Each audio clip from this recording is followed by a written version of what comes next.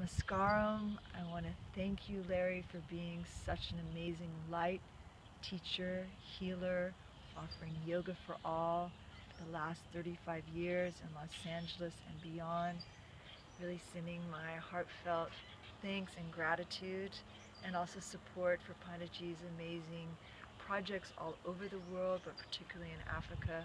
I think what yoga teaches us is to realize our earth body realize the one breath that's breathing us all and that we can wake up together and to be a light.